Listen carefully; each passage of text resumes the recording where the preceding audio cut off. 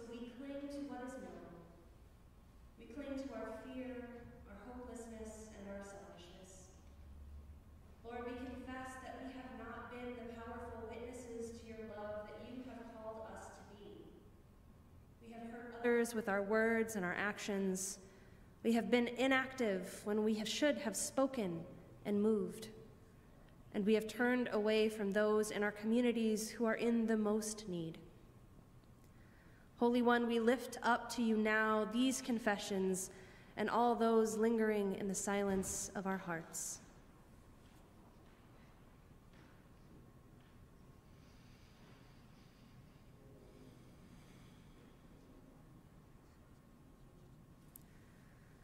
Loving God, forgive us and remake our hearts, make them new. Prepare us to be your sanctuary. Pour your love into us so that we may pour it back out into the world.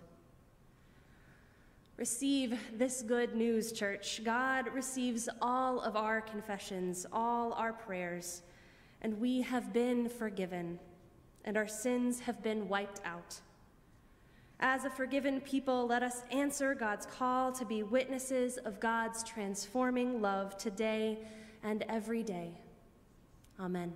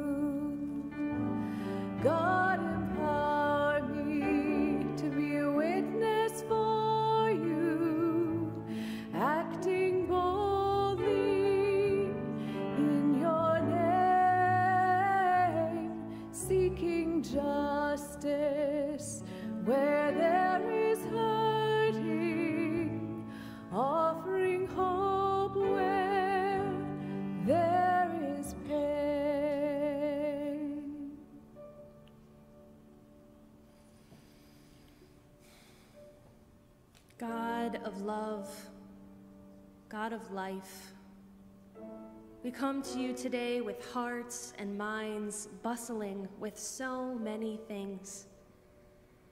We come here to be refreshed, Lord, to have our fragile hearts mended, for so often they crack and break when they collide with the hardness of this world. The splinters of our hearts litter the ground like the buds from the spring trees when we are confronted with all in this world that hurts, that burdens us, and makes us question. And yet, even in our hurt and disbelief, God, you are there, working miracles before us, bringing life out of death strengthening our spirit and our faith so that we might endure and one day thrive. And so we lift our voices to you, O Lord, as we pray for our world and for this community. God, we lift up all who are in need of your healing touch this day for wounds of the mind, the body, and the spirit, for the sick, the healing, and the hurting. God, we especially, we especially pray for Ray Cliff and Jerry Schermeyer, who are in need of your healing, Lord. Lay your hands on them and be with them. We pray for Candy Crawford as she continues treatment. Give your strength and your hope. And we pray for Lori Wren, who is in hospice care. God, wrap your comforting arms around her and make your presence known to her. Lord, we pray for all who are missing loved ones that have passed, whose hearts hurt at the empty spaces in life that cannot be filled, not in the same way.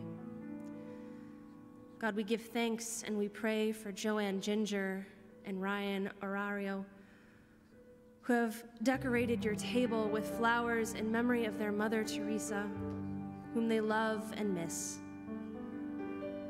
Fill them with words of comfort and joyful memories, Lord. Lord, we pray for all in this world who are suffering from homelessness, hunger, and so many other injustices.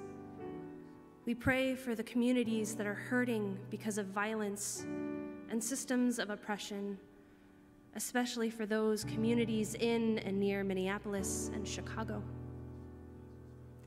Daily, you transform this world, O oh God, and we ask that you bring love and transformation into these inequalities, these systems of violence and oppression, and you remake the world in your image, Lord.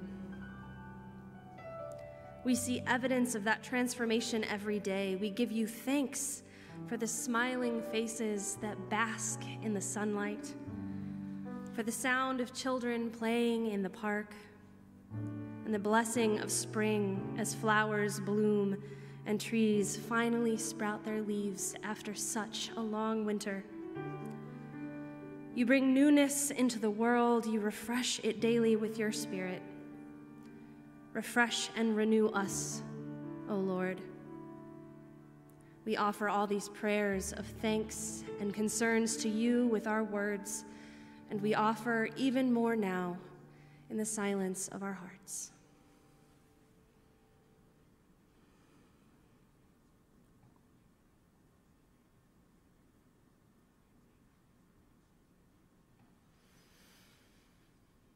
Lord, we know you hold all of these prayers, that you have listened to them each with love and with care. Your presence is made known in this space as we gather to pray the prayer that our Lord Jesus taught us.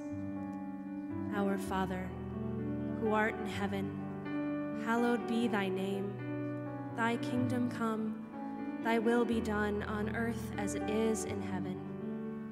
Give us this day our daily bread, and forgive us our debts as we forgive our debtors. And lead us not into temptation, but deliver us from evil. For thine is the kingdom, and the power, and the glory forever. Amen.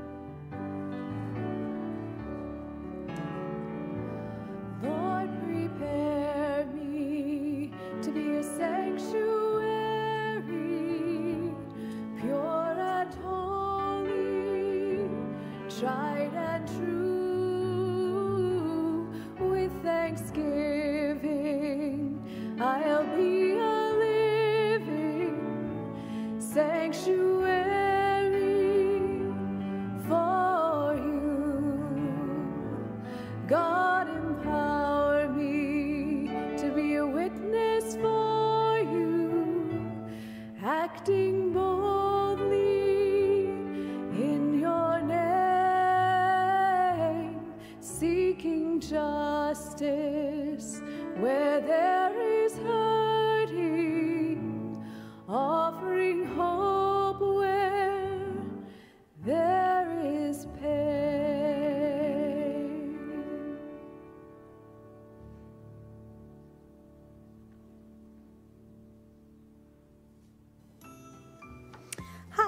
My name is Catherine Curtis, and one of the best decisions our family made as new church members was to attend Tower Hill Weekend. Our family has been attending Tower Hill Camp for 18 years, and some of the photos that you're about to see will show you just how long that's been. We have special memories of our daughter camping for the first time at Tower Hill. In fact, Tower Hill has a special place in the heart of our entire congregation. With the exception of last summer, For decades each July, members and friends have spent a weekend at Tower Hill Camp. Strangely enough, Tower Hill Camp is one of two UCC Illinois Conference camps, but is not located in Illinois. Rather, it's in southwestern Michigan on the shores of Lake Michigan, adjacent to Warren Dune State Park. Tower Hill Camp is named after the Tower Hill Dune, the tallest dune at Warren Dunes, that rises 236 feet above ground level, which is roughly 20 stories high. Hiking through the interpretive nature trails at Tower Hill, you can breathe deeply the scent of the white pines and learn about the different types of dunes. The property hosts furry and feathered critters such as wild turkeys with their chicks and small herds of deer. One special trail crosses a bridge over a creek and takes you up one direction towards a mud wall that is temptingly cool and irresistible to all ages who paint themselves in the mud for a Tower Hill mud mask. If you follow the creek and trail west, it will take you to the sand dunes in the beach on Lake Michigan, where Tower Hill has its own private beach. This walk is about 15 minutes long. Beach time can be spent playing in the water, building sand castles and digging moats, burying your friends up to their necks in sand, sunning and tanning, wakeboarding and swimming, and just hanging out. You never know what might happen on the beach at Tower Hill. Church member Kathy Basso even heard her call to serve our congregation as a staff member while chatting on the beach.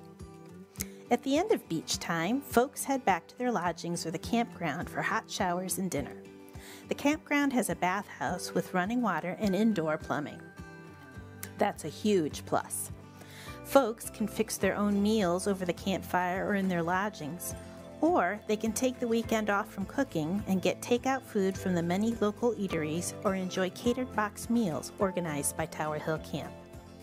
After dinner, there are lots of fun options. Walk back down to the beach for a beautiful sunset, hike over to Warren Dunes to climb Tower Hill, enjoy a family friendly ghost story around the campfire, or go stargazing.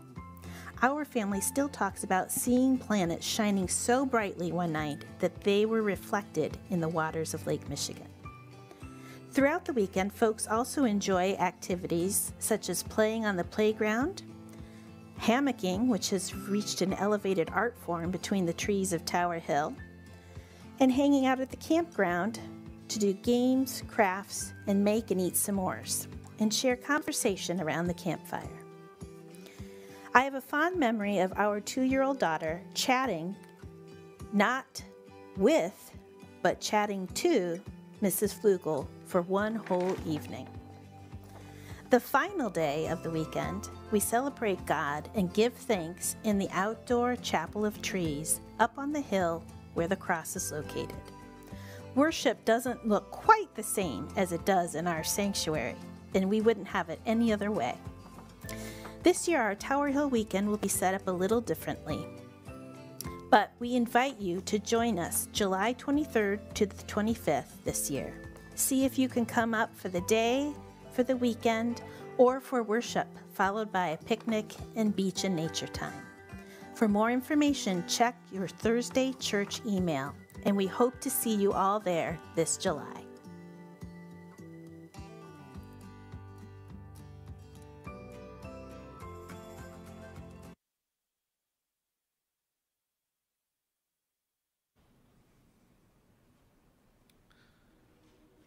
Peter and John, Jesus' disciples, are going to the temple to pray when they encounter a man who cannot walk, a man who spends his days begging for alms just outside the temple gate.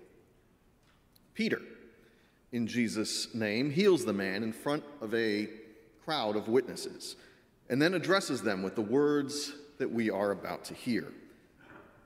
In his speech, his sermon, Peter refers to Jesus as the author of life. It's a bold claim, to be sure, one of cosmic significance. Jesus is more than just a nice guy with some good ideas.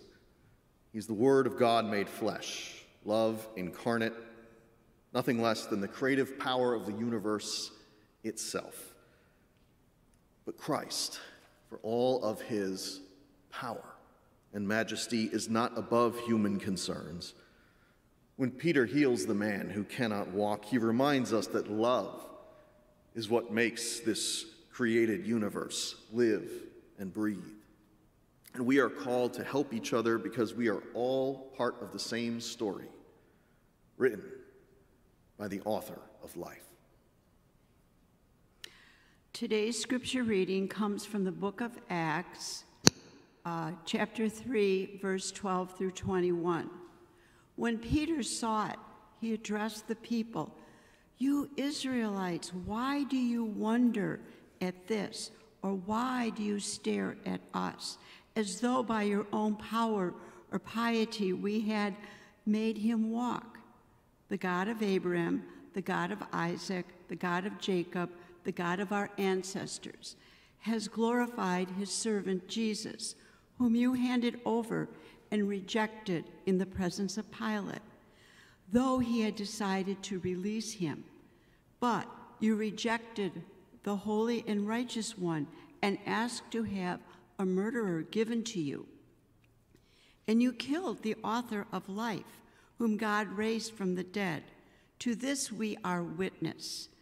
And by faith in his name, his name itself has made this man strong whom you see and know, and the faith that is through Jesus has given him this perfect health in the presence of all of you.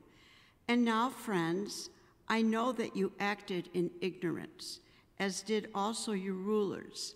In this way, God fulfilled what he had foretold through all the prophets that his Messiah would suffer.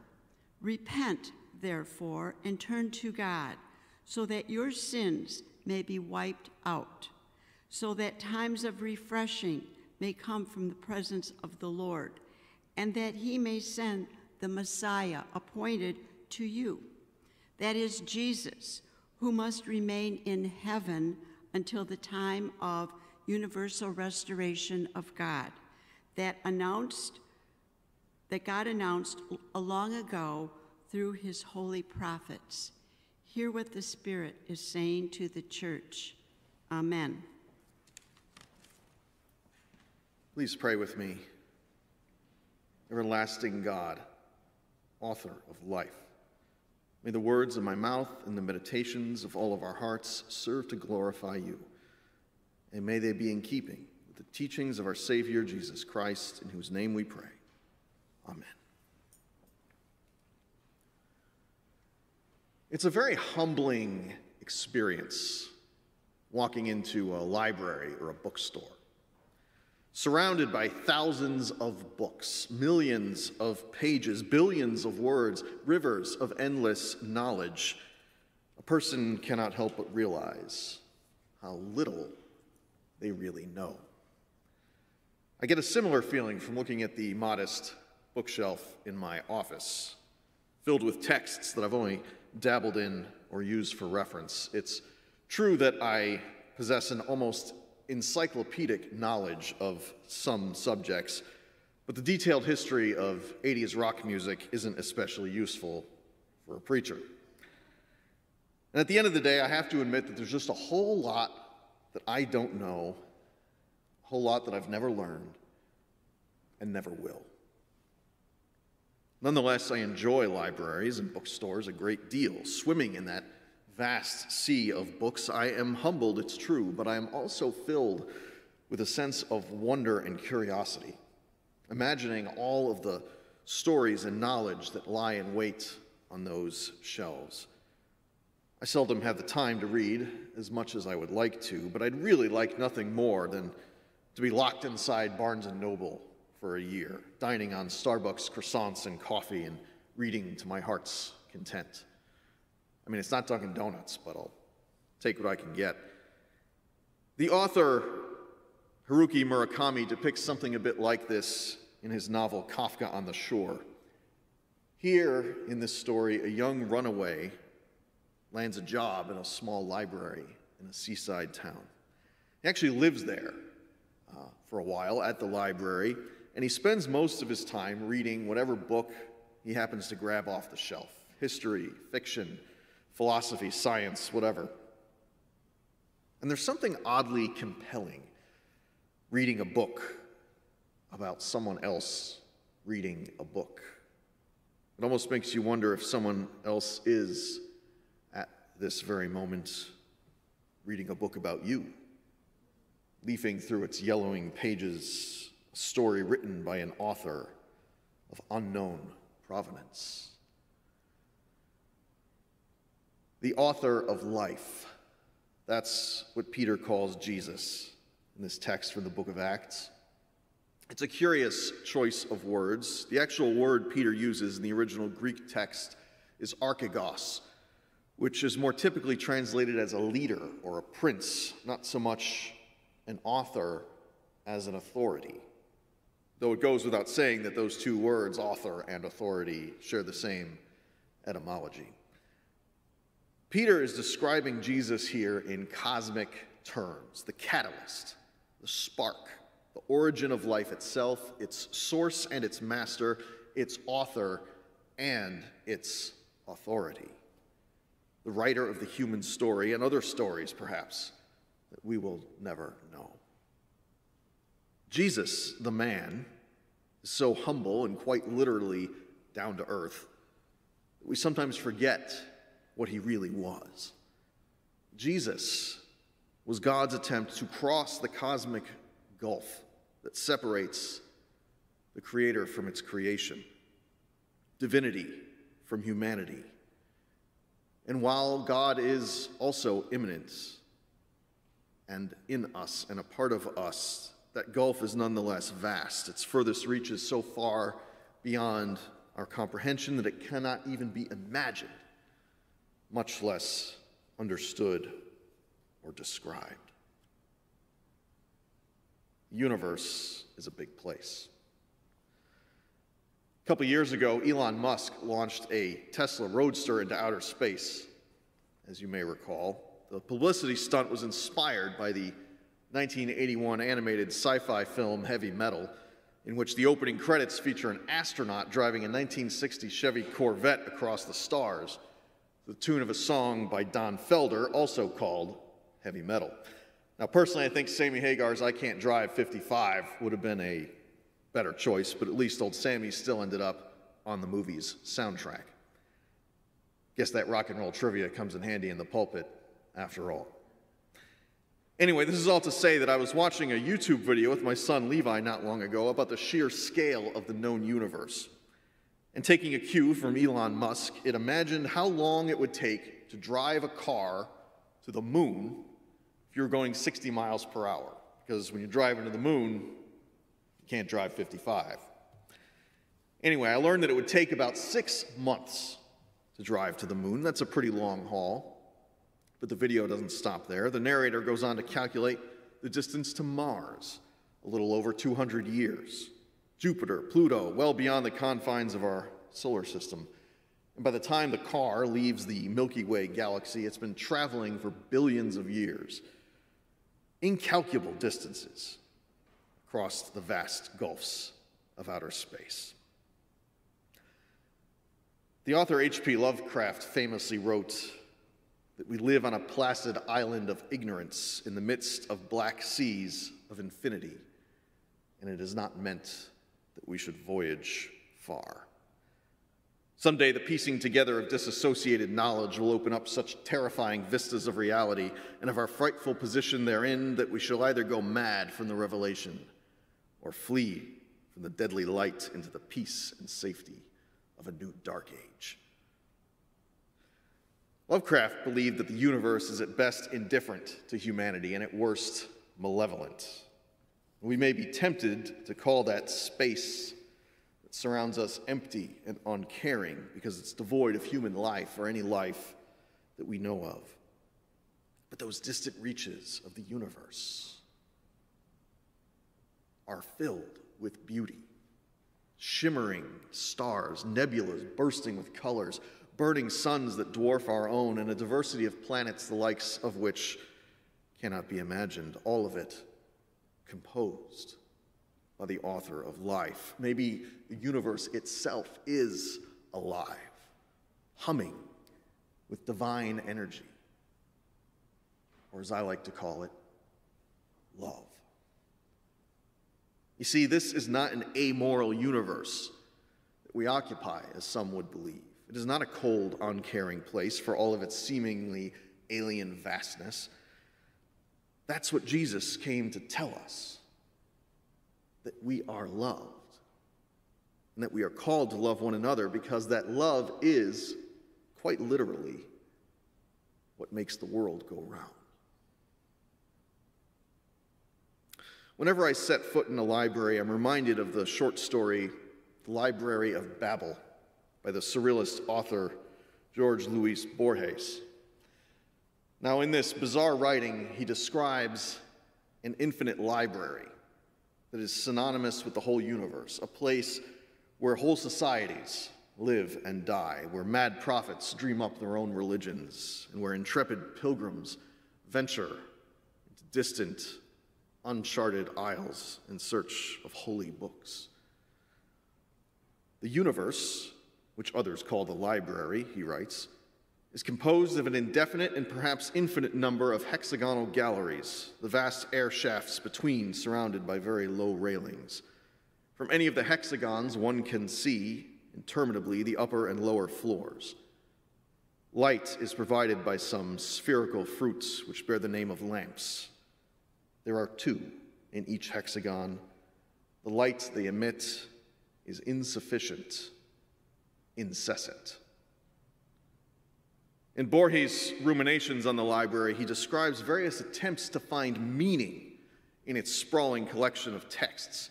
You see, most of them are completely indecipherable, random combinations of all possible letters and languages. It is true that the most ancient men, the first librarians, he muses, used a language quite different from the one we now speak. It is true that a few miles to the right, the tongue is dialectical, and that 90 floors farther up, it is incomprehensible. Borges writes of various cults and sects that have sprung up in the library, some of them believing in a sacred book that lies at the heart of the place, a cipher that will make sense of all the gibberish. He writes of desperate men who go in search of it never to return. A blasphemous sect, the narrator recalls, suggested that the searches should cease and that all men should juggle letters and symbols until they constructed, by an improbable gift of chance, these canonical books. The authorities were obliged to issue severe orders. The sect disappeared, but in my childhood, I have seen old men who for long periods of time would hide in the latrines with some metal discs in a forbidden dice cup and feebly mimic the divine disorder. Friends, the library is, in its final analysis, a place devoid of both meaning and purpose. It is an amoral universe. Its inhabitants crave answers to the fundamental questions of existence, but they are left to their own devices. For them, there is no revelation no Savior. For them, there is no God. Our universe, on the other hand, is a moral one. Unlike the books of Borges' library, our universe has an author. We have revelation in Scripture, a Savior in Jesus, and there is a God whose love is the very engine of existence. As small as we are in the infinite vistas of space, God loves us. The author of life cares and weeps when life is taken, whether by a deadly virus or another mass shooting or a fatal traffic stop or on a cross. Peter wants us to understand this that ours is a moral universe authored by God, and therefore we must not repeat or succumb to the violence on display at Golgotha. Repent, he tells us, and turn to God. There is much that we will never understand, no matter how many books we read. But the good book, as it were, tells us enough. It tells us what we really need to know. I suspect that in writing The Library of Babel, Borges was attempting an allegory about our own universe, our own reality. And some of it, indeed, may sound chillingly familiar. I know of districts, he laments, in which the young men prostrate themselves before books and kiss their pages in a barbarous manner, but they do not know how to decipher a single letter.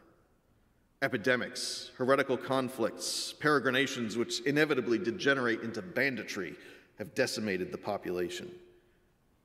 Perhaps my old age and fearfulness deceive me, but I suspect that the human species is about to be extinguished, but the library will endure, illuminated, solitary, indefinite, infinite, perfectly motionless, equipped with precious volumes, useless.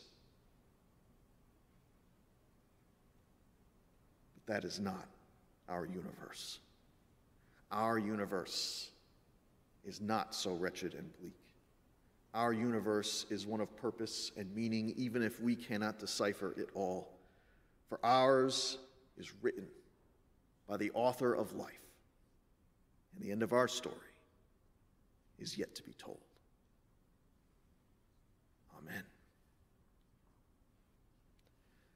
And now, friends, as you go forth from this place today, may you be blessed by the love of God, the power of the Holy Spirit, and the peace of Jesus Christ, the author of life and of love.